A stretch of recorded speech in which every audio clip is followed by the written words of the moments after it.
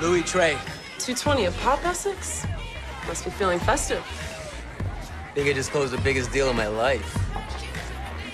Well, in that case, let's start a tab.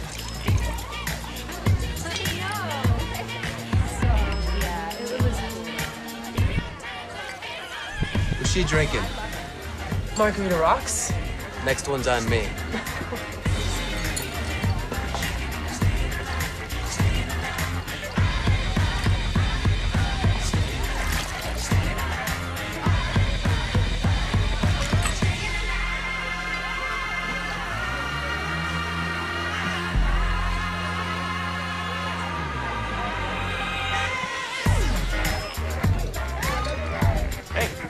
to life. Thanks.